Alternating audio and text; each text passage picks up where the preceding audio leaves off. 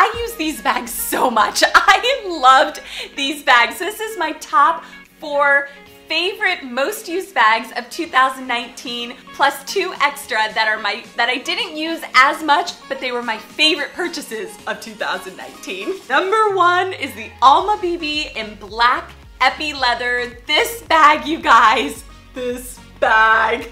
This is literally one of my favoriteest, most favorite bags I have purchased in several years. This is like a hero bag. It really is just a hero bag. It is so simplistic, goes with everything. Like literally, I took this bag to Egypt with me over Thanksgiving and it was the perfect day bag because of the strap. And then you just take this little strap off and it just becomes a perfect handheld bag it is so classy. This bag was designed for Coco Chanel, so I love the history behind the bag. I just love the simplicity of it and really the design, and I love that it can just easily go from day to night. The silver hardware makes this bag so casual and just easy to just bop around with during the day. I was just very surprised with this bag how much I really, really liked it. Something that a lot of videos mention when they talk about the Alma bag is this bottom part here always getting little scratches and nicks from being like banged around because it's such a structured bag. I've had this for several months. I've worn it a ton. It really was like my most used bag and it still looks phenomenal. I mean, yeah, any bag you get is gonna get dings and scratches because it's your bag. You've been using it. It's making memories with you. It's going to brunches with you and going to Egypt with you. So it definitely is gonna have a little bit of wear on it, but it still looks phenomenal to me. This bag still really does look brand new and I can only just see a few blemishes and you would really have to like get up close. I thousand percent recommend this bag if you are thinking about the Alma but not sure. I say go for it. And my favorite is the black epi leather because you don't have to worry about patinaing of the strap or patina down here on the monogram one. Ooh, or you could also get the Damier Ebene one. Next, we have my Fendi Mama Baguette. This is a pre-loved bag. I got this off Fashionphile, and I waited, you guys. And I waited. I waited probably, probably for like a year, just stalking the website, looking for one in excellent, excellent condition. Most of them, when they get listed on their website, are in very good condition, but this one was listed in excellent, and when I got it, it really was excellent. It was almost perfect. I also waited to get the gold hardware. I didn't want silver. For some reason on this bag, I just love the way the gold looks. And as soon as I got this, I cut the tag off. You know, like on Fashionphile, they have that tag where if you take the tag off, it's yours. That day, I cut it, I opened it, and I started putting all my stuff in here. I was like, I love this bag. It's awesome. Super, super simplistic, not much to this bag. There isn't like bells and whistles to it, not even a back pocket. Just very simple, opens to like one big inner pocket. It's stuffed right now, but the thing I love most about it is how lightweight it is. Like literally, it feels like nothing. And then the, the strap drop. I love that it just easily goes over your shoulder. You don't have to think about it. So comfortable because of like the way it's designed, like it's kind of like a triangle. It just fits, it just fits with your like arm just really easily. I don't know how to describe it. I do have the Fendi baguette in this gorgeous white color. And I love this bag too. This is a great bag to kind of hold like this or on like the crook of your arm. But this strap drop on this one is so short. It could like never go all the way over my uh, shoulder. I still love this, but the strap drop on this bag is just, it's literally perfect. And it's also adjustable, so you can adjust it. But I have it on the last, uh, the last strap because I want it, I think it fits perfect right there. I still love this one. Didn't make my list this year, but I still love it. It's a harder bag to wear because it's white, but. Next, we have my Chanel Square Mini. This is in like a patent leather with gold, crinkly like gold underneath. This handbag has been a hero bag ever since I got it. I think this bag for me just has so much positive energy. I don't know if a bag can be like categorized as like a positive energy bag, but I think the, me the memories associated with this bag, my husband bought it for me when we were in Dublin, and we had, it was just such a fun trip. We got into a lot of mischief on that trip and we just had such a good time that this bag just really reminds me of of that trip and, and I just love it. Also, this bag is just great to wear like on the shoulder. I even can wear it crossbody. It rides a little high, but I still really like it crossbody if I need to. I feel like it could be a very casual day-to-day -day bag or it could be a really nice, fancier type bag for the evening. And this bag for me is perfect for spring and summer, like literally perfect white t-shirt, jeans, sandals, a gold Chanel bag, and I'm like good to go. I, it's perfect summer outfit. Of course this one was gonna make the list. My Speedy Nano. Literally one of the cutest bags that I purchased in 2019. I'm so fortunate. If you guys want this bag, you can get it on the pre-love market. You are going to pay a premium price because this is so hard to get in the boutiques. If you wanna buy it from the boutique, you're gonna have to make friends with one of the sales associates at the boutique and literally text them all the time. Is it in? Did you guys get the bag? How about today? Most of the Louis Vuitton stores get shipments every day. So at like seven o'clock, they got their shipment. So whenever that store opens, I'd be texting, did you get it? Just keep on them, just keep on them, you can get one.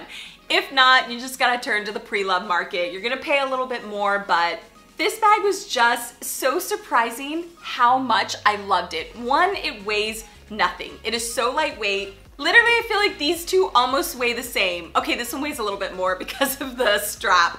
I can't tell you how many compliments I got on this little bag and how many stares. I mean, I'm sure some people thought it was just like absolutely ridiculous, but a lot of people actually really liked it. The only con that I could think of this bag is that the strap is not removable. I would have loved for this strap to be removable so that I could just wear it as a little tiny handheld because it's just adorable. If I had this bag more than like five years or something, I am debating taking this strap off and replacing it with a attachable type strap.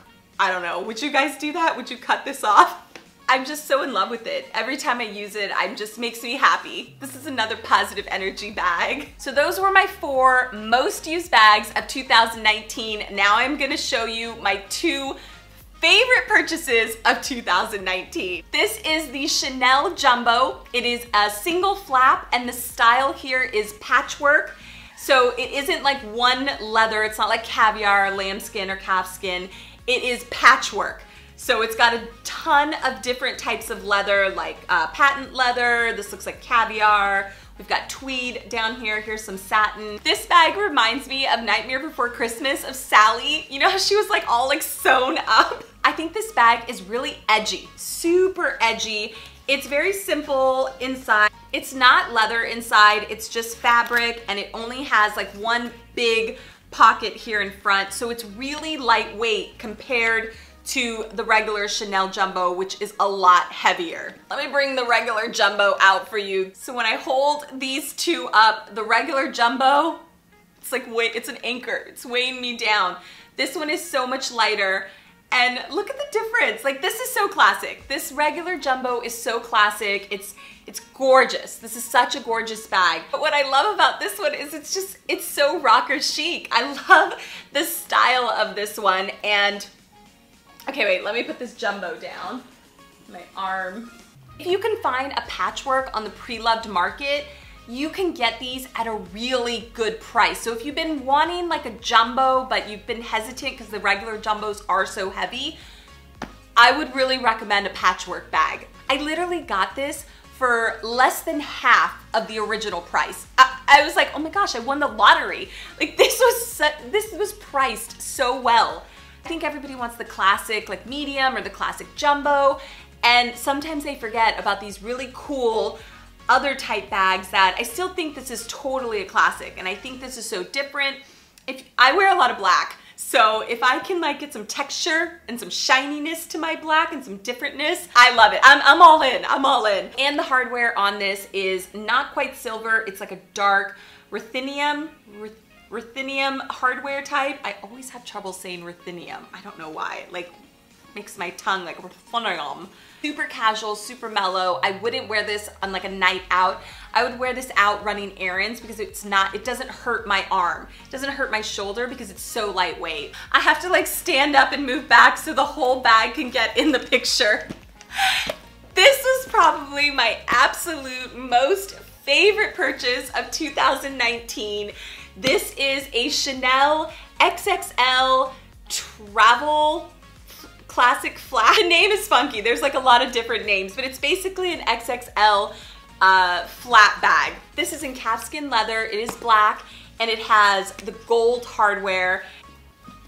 And on the back here, the best feature is is this already open? Yeah. The best feature is that this back pocket goes on top of your luggage. I made a whole video about this bag if you are interested, but this goes on top of your luggage, but you, there's also a zipper down here so you can zip it shut and then this becomes a pocket if you don't, if you just wanna wear it like as a tote bag and not as luggage.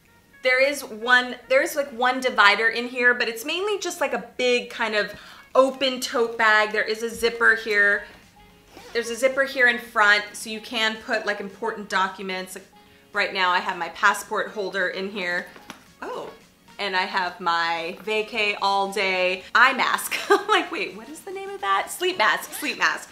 So this bag, you guys, it's just, if you don't have, if you don't have the tissue paper in there, it's really squishy. It's it's like kind of like a fluffy pillow. I can't say it's my most used bag because I've only traveled with it a few times, but every time I've traveled with it, I just, I love it. I, I love that it's like so supersized. Look at these two bags compared to each other. this is like a mini and this is a giant. If you guys are thinking about this bag and have any questions, let me know because I've used it a ton now. So if you're thinking about buying it, they're expensive, so ask me all the questions you want. I had a good time in 2019. I feel like I got some really, really good deals and pre-loved, you guys, pre-loved. I would say half of my collection is brand new from the boutique and half of it really is pre-loved. I love that pre-loved websites in 2018 and 19 like went public, partnered with Neiman Marcus. I mean, pre-loved is huge. It's just getting bigger. You can buy a bag that has a little bit of history or maybe you weren't able to get it when it launched and then several years later, there you go. I feel like I bought some bags this year that I wanted so bad in college and I was like, there's no way I could never afford that. And now I'm, I'm getting all those college bags that I wanted. I'm taking it back. Thank you guys so much for watching and I will see you on my next video.